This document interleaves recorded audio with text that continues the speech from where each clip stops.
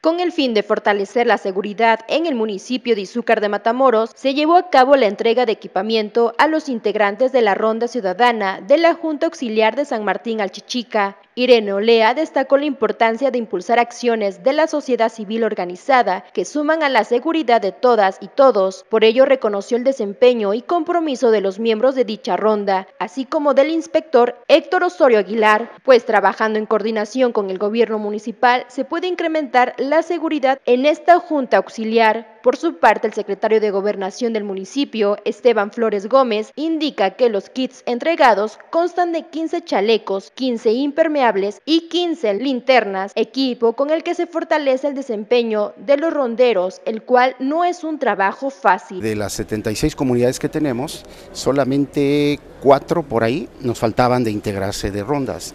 Esta es una de ellas de las que faltaban, de la Junta Auxiliar de San Martín Alchichica. Por lo tanto, nos da mucho gusto que ya se integraron desde hace un tiempo por atrás, pero no se les había dotado pues de, de su equipo ¿no? para que puedan realizar su trabajo. En esta ocasión nos da mucho gusto que ya se integraron y se les hace la entrega de 15 chalecos y de 15 este, impermeables, así como lámparas, ¿no?